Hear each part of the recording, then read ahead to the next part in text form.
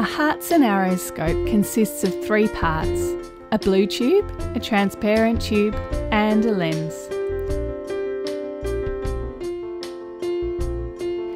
It colours the light entering the diamond, allowing us to localise where the reflections come from in the stone itself.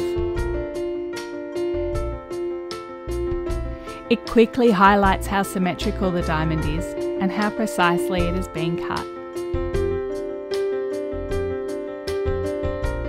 When viewing the top of the diamond, you should see eight perfect arrows reflecting white light.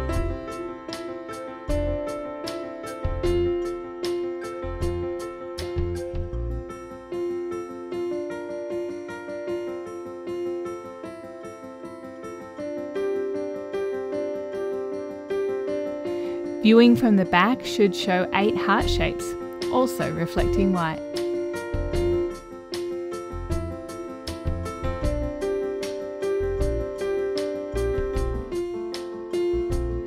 Diamonds that display hearts and arrows tend to have a very high light return, meaning they're exceptionally bright and beautiful.